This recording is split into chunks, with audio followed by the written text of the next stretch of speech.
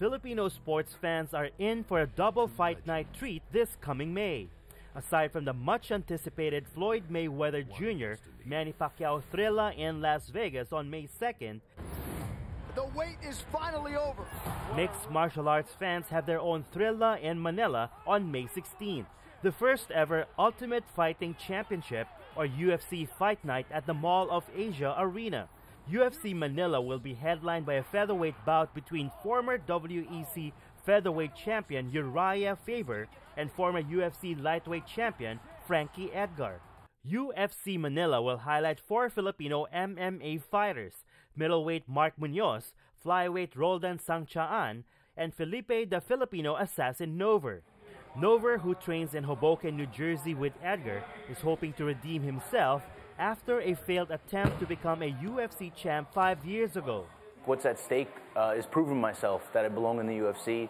I belong in the in, in the featherweight division, and I'm a threat to the uh, to the featherweight division.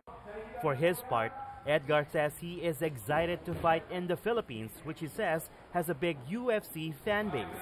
Manny Pacquiao's from there, and uh, you know they're into fighters, and, and it's nice that I get to be the first main event for the UFC in the Philippines. And then there's a fifth Filipino vying for a spot in this historic fight night in Manila. Nover's girlfriend, Christinel, is one of the top five finalists for UFC's first ever Octagon Girl search in Asia. It would be such an honor to be able to be the Octagon Girl for him. And actually, I kind of did this without him knowing. We would just cheer on uh, each of the indi individual fighters, and then uh, between each ring, we would hold up the ring, the, the ring card. Um, in other organizations, they're called ring card girls. The public has until May 8th to vote for the UFC Octagon Girl Asia. The winner will be announced the following day. UFC Fight Night Manila airs live in the US on May 15th on Fox Sports 1.